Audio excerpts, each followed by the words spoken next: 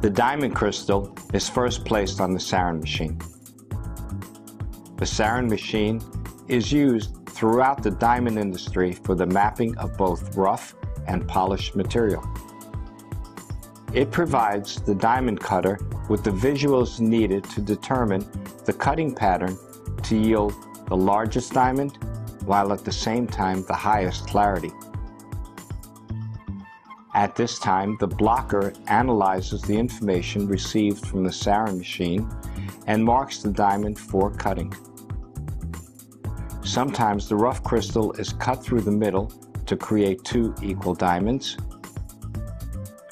Other times, a larger diamond will be cut and a small piece of the crystal will remain, which is called a toppy.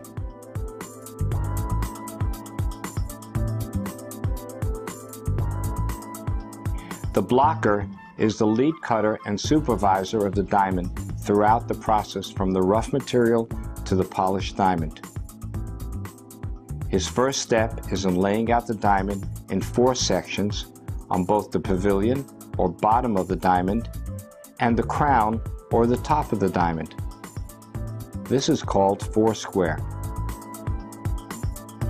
His responsibility also includes the placing of the angles on both the pavilion and the crown sections of the diamond to maximize the brilliance and beauty of the diamond.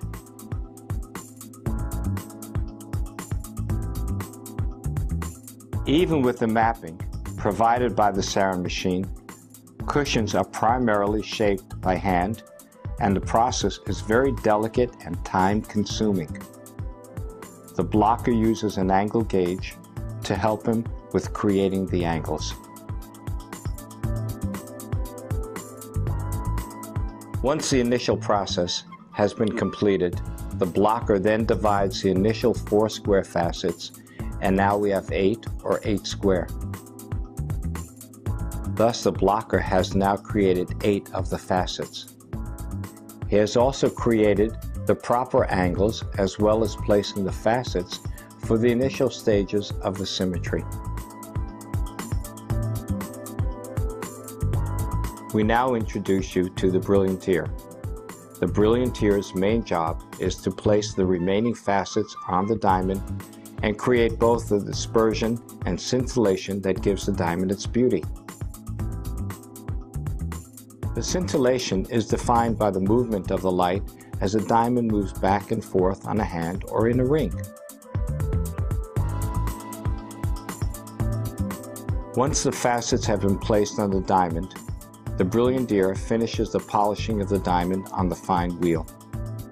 Previously, when starting the cutting process, it was placed on the rough edge of the cutting wheel and a process called bruting was initiated and is technically the shaping of the diamond. The Brillianteer's responsibility also includes the girdling of the diamond.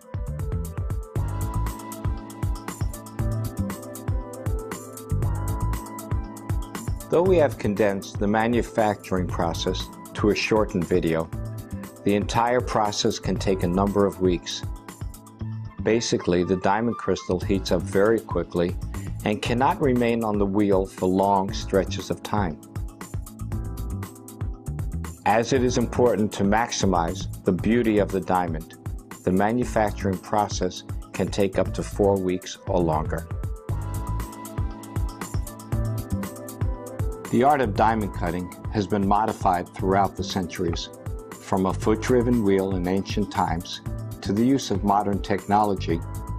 At the end of the day, the skill of the diamond cutter still is the main source of defining the beauty of the diamond.